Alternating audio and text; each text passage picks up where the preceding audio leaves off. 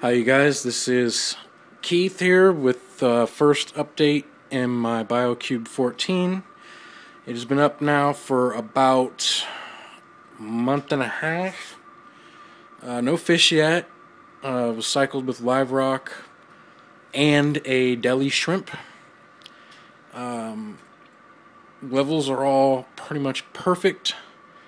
I'm dealing with the algae blooms from a new tank. The diatoms were gone. Uh, about week and a half ago, I got everything covered with brown diatoms and hair algae. Um, I did not clean any of it. I did not do anything to the tank. I got a cleanup crew about maybe four days later, and in three, maybe four days, they have completely massacred all that brown algae.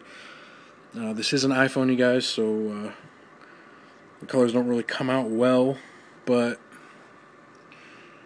I have a tad bit of algae left, but it's not really brown algae. It looks brown in the camera. It's actually a green algae, uh, from what I've read. Normally comes in uh, phases. You know, you got your browns, and then you got your green. Um, I also got some of this, uh, whatever kind of algae that is. Uh, kind of looks like a fern in a way, kind of like a cattail or something. But it was small, and in maybe a week and a half, two weeks, it's grown that big. I'm gonna have to trim it, but I kind of like it. Gives it a natural look. Um, so far, all that I have in here now are I have four or five snails. Uh, they dig in the sand. I can't remember the exact breed. If you guys want to post that. Um, and I also have a lot of these dwarf ceriths. I originally placed an order for about 12. And these are really small. They're about a quarter of an inch to about 3 eighths to maybe half max. And instead of giving me 12, they gave me a bag full of like 70 of them. Um, so I put most of them in the display. And they've decimated the algae that's in here. I tossed a few in the back where the fuge is. I seeded the tank with copepods, two jars of copepods, and that was just a month ago, maybe. And if you can see it, this camera will pick it up. On the sides of the glass, I have hundreds and hundreds of these babies. They look like little pieces of dirt, but they're they're actually copepod babies. You can kind of see them against the back wall um, over there, but there's just hundreds of them all along the sides of the glass and and all over the rock and in the back wall.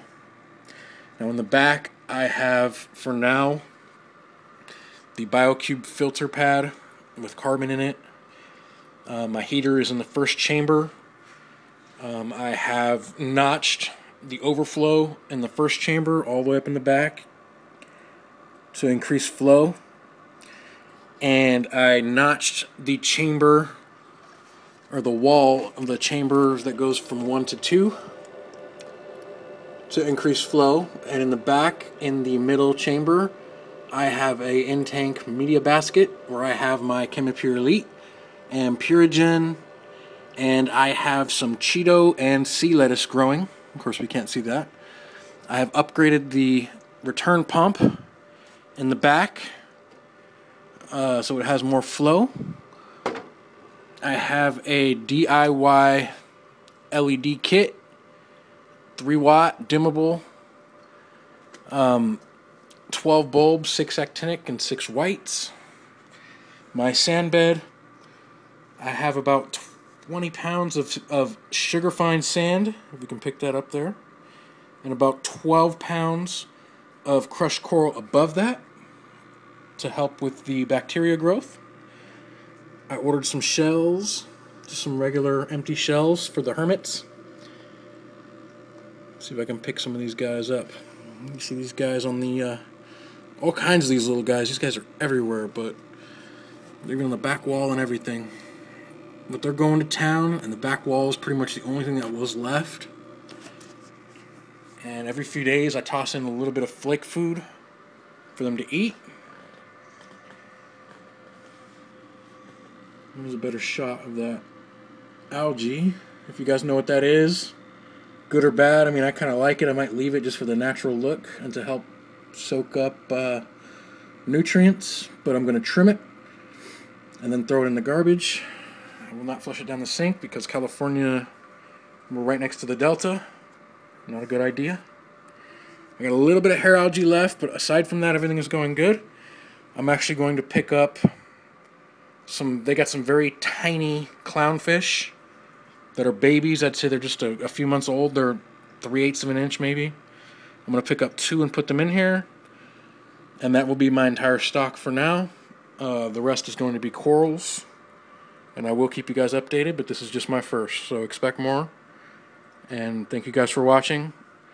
And subscribe and like. And you will see more videos from me. Thank you.